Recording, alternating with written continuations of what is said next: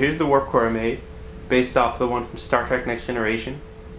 It's printed in gray and white PLA on my 3D printer, based off a design I found on Thingiverse.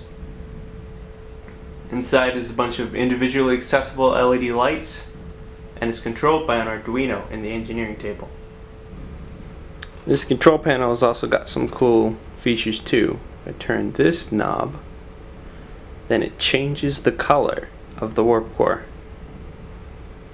And if I turn this knob, it changes the warp speed.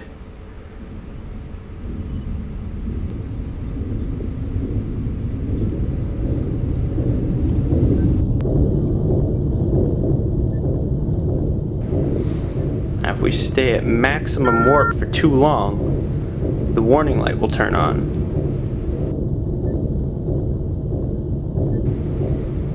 And if we still stay at maximum warp, the warp core overheats and explodes.